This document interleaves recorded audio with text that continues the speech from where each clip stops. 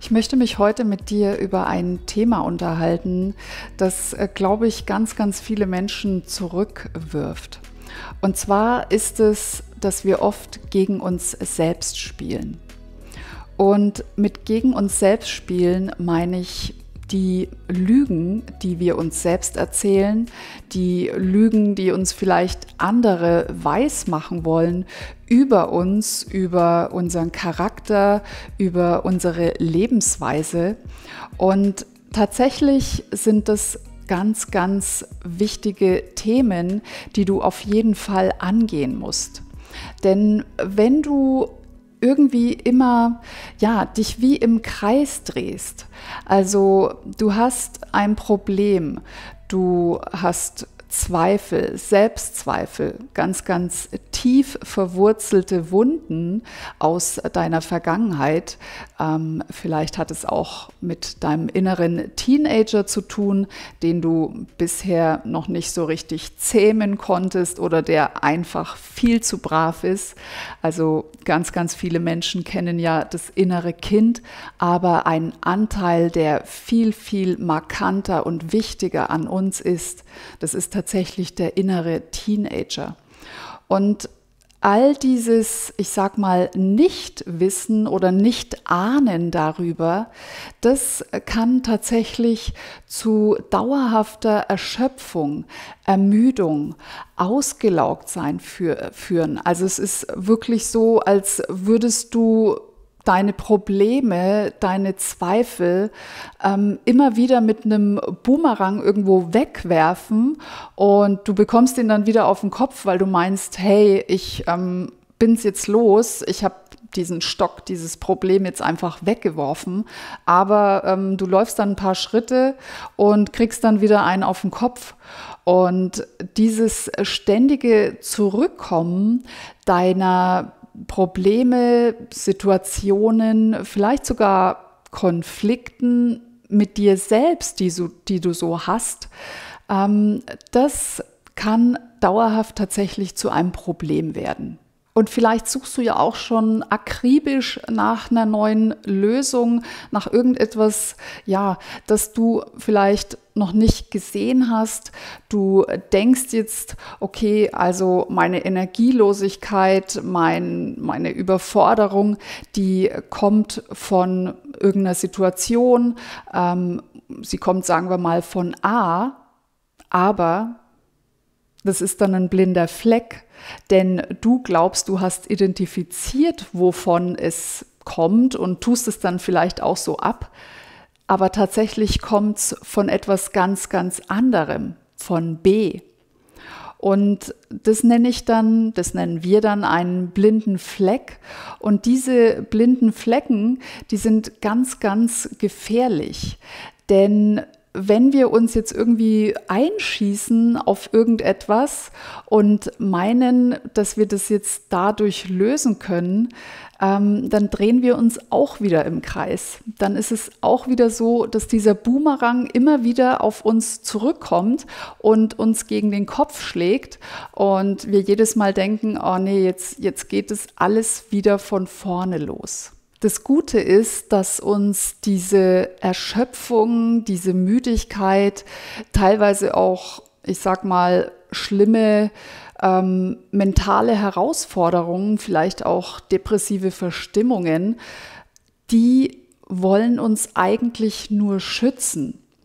Also natürlich schützen sie uns auch nur, wenn wir erkennen, okay, da ist jetzt etwas, da muss ich dran arbeiten, da bin ich gefordert.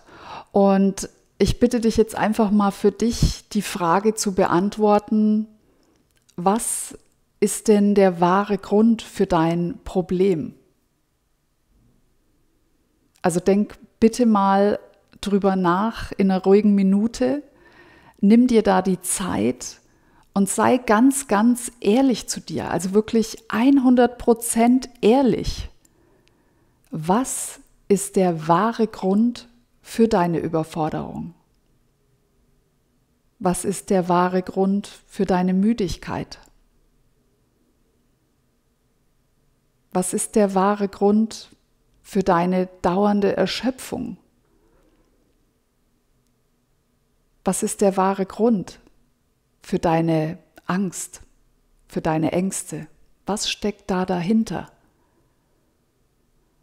Und wenn du dir diese Zeit nimmst und da mal wirklich ganz, ganz ehrlich bist, also das, das kann auch wehtun, das darf auch wehtun, ähm, wirst du diese Wunden heilen können. Und vielleicht hast du auch ab und an das Gefühl, dass du nicht genug bist, dass du für andere irgendwie funktionieren musst, dass du für andere toll sein musst. Dadurch vergleichst du dich natürlich mit vielleicht ja Nachbarn, mit ähm, Menschen auf Social Media, mit allem Möglichen und hast natürlich dadurch durch diese Vergleiche und durch diesen verzerrten Blick, den du da auch hast, weil deine Perspektive natürlich jetzt nur noch ausgerichtet ist auf, äh, ich bin nicht gut genug, ähm, ich bin schlecht, ähm, ja, dadurch fokussierst du dich natürlich auf, auf Dinge, die für dich nicht förderlich sind. Und da musst du wieder in deine Kraft kommen. Da musst du wieder in deine Macht kommen. Und es ist auch ganz, ganz wichtig zu wissen, dass das geht. Also es ist nicht so eine Sache, ähm, die jetzt hoffnungslos verloren ist, auch ähm, wenn du mal depressiv verstimmt bist, ähm, wenn du irgendwelche anderen Schwierigkeiten im mentalen Bereich hast, ähm, im psychischen, heißt es nicht, dass das in Stein gemeißelt ist und für immer so ist. Du kannst es tatsächlich verändern. Aber du musst natürlich bereit sein, auch die Schritte dafür zu gehen. Und dieses kräftezehrende Szenario, dass du nicht genug bist, ähm, das musst du auf jeden Fall loswerden.